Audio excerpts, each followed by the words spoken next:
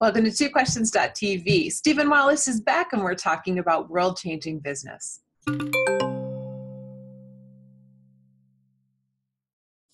Welcome to TwoQuestions.tv. I'm Susan Baroncini Moe. Joining me again today is Steven Wallace, the founder and CEO of the Omanhene Cocoa Bean Company, the first company to sustain exports of the premium chocolate manufactured entirely in Africa and credited with producing the world's first single origin chocolate bar in 1994. He's also the author of this book, Obroni and the Chocolate Factory. You guys know this is one of my favorites for the year. Hi, Steve. Welcome back to the show.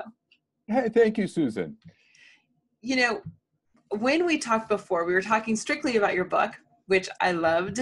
And Thank as you. as we talked, you talked about um, we talked about your love of Ghana, the country, and you mentioned Adam Smith and you mentioned David Ricardo's idea of comparative advantage of international trade and your dismay at the idea of globalism that has turned into kind of a bad thing with winners and losers. And at the time, I thought, this is so interesting. I have to invite him back. And so let's talk about that idea that successful international trade doesn't necessitate winners and losers, despite what appears to have developed in you know the last 40 and 50 years. Terrific, terrific. Right. I mean, we we harken back to these old uh, 18th century economists, Adam Smith and David Ricardo, and they they talked about this notion of of comparative advantage, which all it means is you do what you do best and you trade for the rest. And if you pull it apart, what it really means is, is not every country is likely to be able to produce every product or good or service that they need. That, that trade is actually the most efficient or least expensive or fastest way to get the products and services you need. Um, and you know this has been borne out through the years. And somehow, um, you know, and, and people in the United States, I think, intuitively understood this. And in fact, it became the underpinnings for the Marshall Plan at the end of World War II when we talked about rebuilding Europe. Um, mm-hmm. um, and through trade, that we would engage with them, we'd help rebuild, we'd we'd lend them or sell them or lease them goods, materials, and services and help rebuild them. And this would be not only good for the economy, which it turned out to be good for everybody's economy, Europe and the United States, but it also was a preventative for war. And it was um, after a world that had been weary of two world wars, you know, within the span of decades, people thought this idea of global engagement was actually a very good thing. It was global engagement around economic activity and cultural activity and not military activity.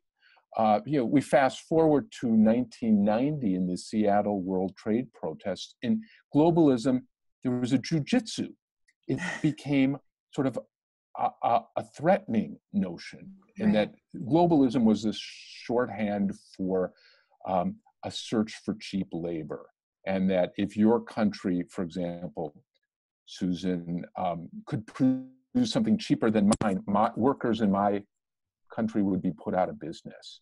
Right. And it was it became sort of a very what I thought short-sighted and cabin, a very kind of sm- small-minded view of what globalism was. And now, to be sure, it it displaced people, and and the remedies for what happens when people displaced is is another discussion, and you can't ignore that. There are political, social, cultural implications, economic implications. So you can't just say, you know, let's let's be insensitive to the um, the tribulations that are an outcome of international trade. But you know, it practiced in its best sense. And what intrigued me was uh, Adam Smith and David Ricardo, Ricardo called on us to articulate what it is that each country does best, and it's not easy. So um, you know, we you know maybe it's the quality of your education system that gives you a very trained workforce Maybe it's artistic achievement, maybe it's natural resources. Um, but the fact is that most countries can't do everything themselves as efficiently as possible. And, and you know, I've seen this in some, um, uh, it was at the World Economic Forum, and there were, at this point, it was the World Economic Forum on Africa, it was African countries, they were talking about food self-sufficiency. Mm-hmm. And the fact was that there's some countries that are, say, desert, and that right. to be food self-sufficient you have to irrigate, and then you have all these environmental problems of if you're moving water or I mean, you know from one place to another or taking water rights from another country that mm. then you have a military political problem so some countries shouldn't grow their own rice for example maybe they should pump their oil and buy their rice and import it for example so mm-hmm. so certain subsidies that happen we see it even frankly in the US agricultural sphere that there's subsidies for certain things because you know we want to employ and, and there's maybe we want to employ local farmers, and there's perhaps a geopolitical reason that we don't want to be dependent on foreign countries. But we should all have our eyes wide open that there's probably a better, faster, cheaper way to get whatever good it is that we're, we're subsidizing from some trade partner in the world. Well, you, you've you've talked about something interesting. This um, this looking at you know everybody doing what they do best and and looking for ways for everybody to win. And and i think when i think about this you know i'm not an economist. I don't really understand it all. But but i you know when you talk about this sort of bipolar zero sum game that you know everybody you know some they're winners and losers and you know if if somebody's watching today and they have a business and, and they're intrigued by this notion do you do you think this is something that has to be done from the genesis of a business or is it something that can be retrofitted sort of for lack of a better word um, it's an interesting question because uh, I think businesses can remake themselves mm-hmm. with good leadership, good employees. You know, I'm very optimistic that all kinds of businesses can, but but there's sort of short-term costs, and and I think the promise of globalism is over time, writ large, an entire country, wealth is created. And if it's well proportioned among all the citizens or all the workers, then it's a sort of a happy ending. But you know, in the short term, because these trade deals and ours certainly was built on a partnership. Mm-hmm. And people can talk about let's let's look at our vendors as partners. And um, you know, it's it's tossed around rather loosely. I mean, what that means is sometimes your partner lets you down, but that doesn't mean you sue them or you take them to court or you drop them. I mean, what it means is in the short term, if you're serious about a long term partnership, both sides have to forgive and forget. And you can't maximize every economic opportunity every day. Um, otherwise, it's not much of a partnership. That's um, practically um, un-American, Steve. What are you talking about? right. I'm accused of this um, uh, well, yeah, but I, I, think it's true. I mean,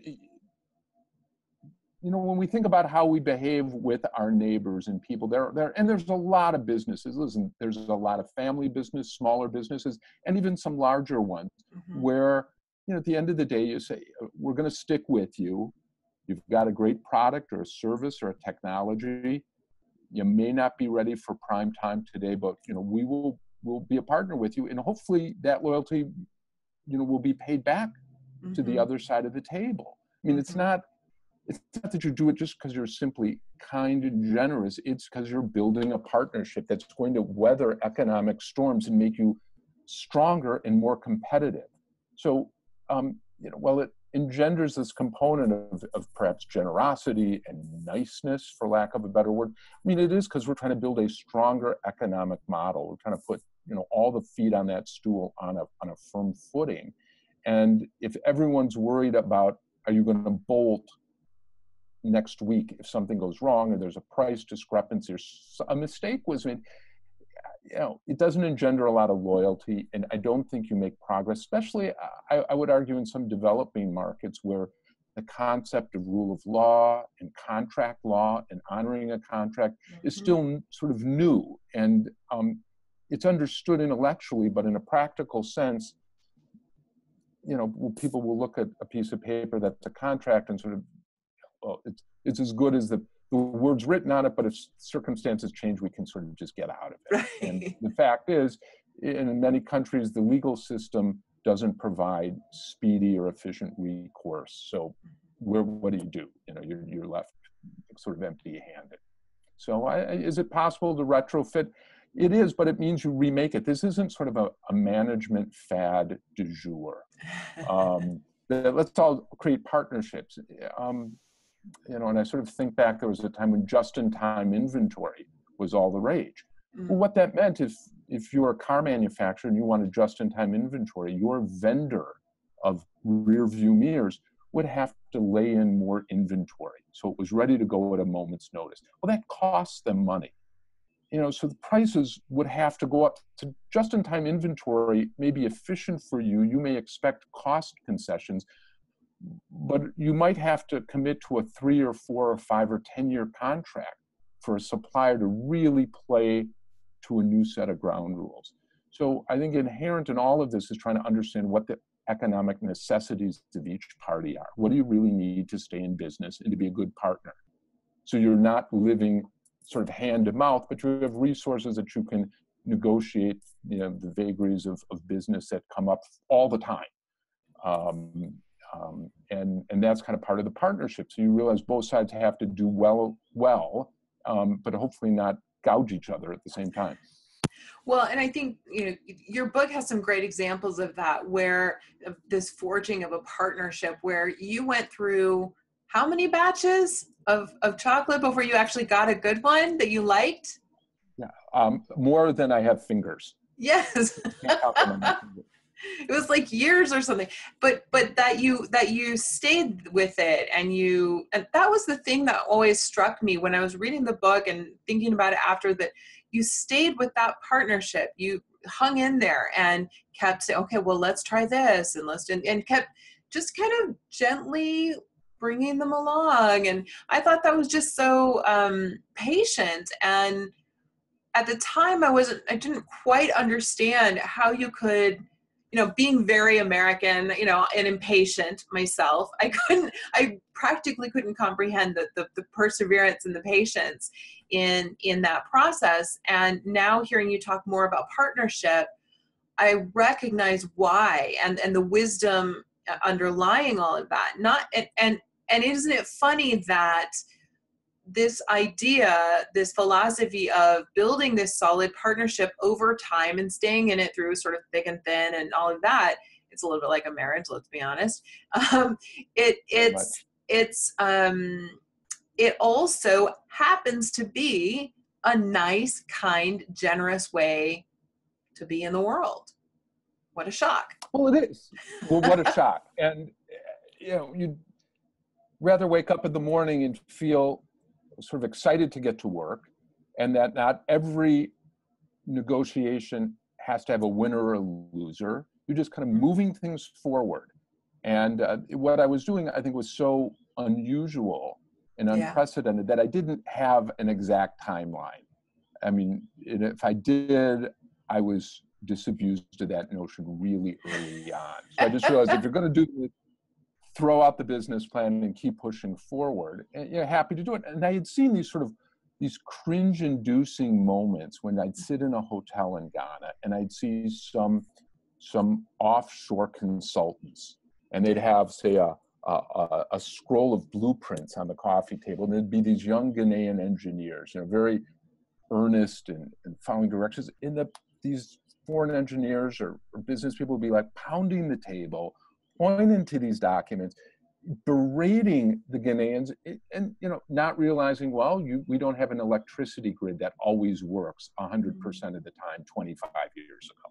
Right. And, and you know, a good rain will knock out water and sewage. I mean, all things that just happen. They happen in our country. They're happening sure. in our country more increasingly.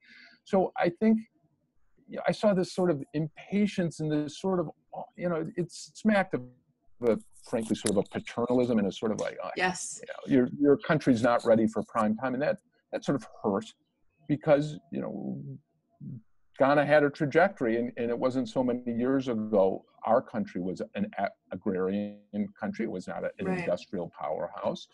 Um, you can go back to probably all our grandparents and if they didn't they weren't immigrants you know they, they were living a pretty modest life um, in this country. So um, you know, we're all we all pass through that journey. Um, what's fascinating for me is both when I was a schoolboy in Ghana almost 40 years ago, and now I've sort of witnessed this modernization of a country that went from colonial times to a modern and, and very successful democracy, perhaps one of the most successful democracies on the whole African continent. So I was very lucky to see it.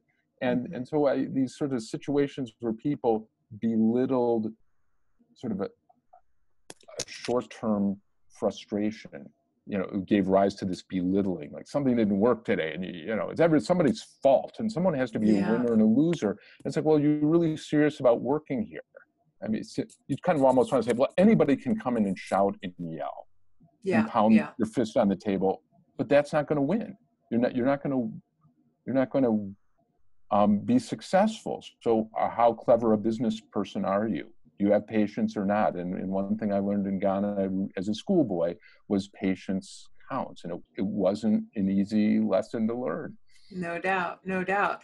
Well, and, and I think that that you make a really excellent point. When when I think about people whether it's whether it's in in business or you know folks who are going to do missionary work um, i always think about you know it, it perhaps is wiser to let people tell you what they need and to immerse yourself in the culture and understand the culture so that you don't go in in this sort of paternalistic way. You don't go in sort of this i'm american i know best kind of way and and approach it in more of a, a fluid and dynamic i need to understand the culture i need to understand the people because not only do you risk being completely offensive but but you also risk not having strong partnerships well, I think that's exactly it. And um, you know, whether you're there for a pro for a for-profit mm-hmm. money-making venture, you're there um, for a non-profit or a charitable or eleemosynary venture, you know, venture.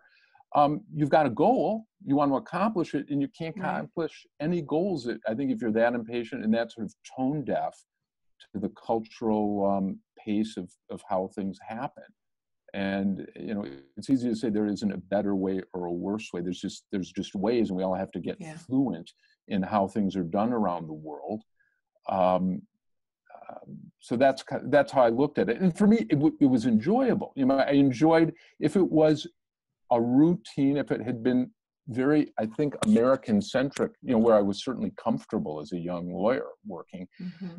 You know, it wasn't as exciting and, and, the adventure wasn't there to find myself in things like now what do i do this isn't where what you know was invigorating and, and you know for i think certain kinds of business people that's what you get up in the morning for that sort of right. excitement that sort of challenge and um, you know so well i got that in full measure yeah yeah wonderful uh, steve it's always such a pleasure to talk to you thanks for being on the show today Susan, a pleasure. Um, and I wish you and your listeners well as always. Thank you so much. Thank you. Viewers, again, here's the book. Remember, this gets one of my highest recommendations for the year so far. Thanks for watching. We'll see you next time.